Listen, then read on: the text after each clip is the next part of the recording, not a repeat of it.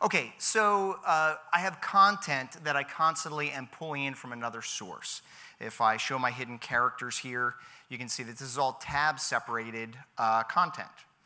And uh, of course, we could always create a table out of this to help to organize this. But you can see that I've created uh, some styles here. I have, whoa, title, position, um, subheading, and then I have, I want to basically do like alternating fills at the bottom. So one way we could do this, we could just hire like our 12-year-old kid to uh, click on, on each one of these.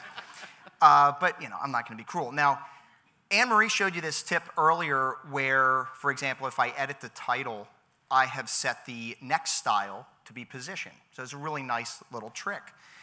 But right now, if I do that, what's going to happen is I'll say apply title and the next style, but it fills the last one with the gray fill, and, and I want alternating fills.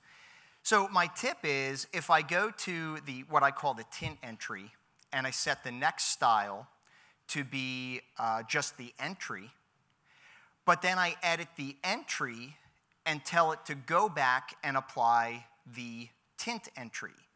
I'm basically creating a vicious loop at the end of this. I call it a vicious loop.